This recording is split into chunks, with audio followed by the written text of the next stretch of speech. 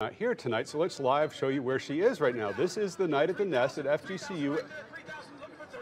The, the auction has clearly just started. Jay Severson right there on the right side.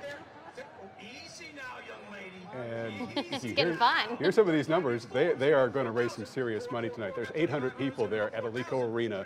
Uh, the student athletes are the wait staff tonight for the people who are there helping to fund their scholarships. And they're clearly spending money. Yeah, very good.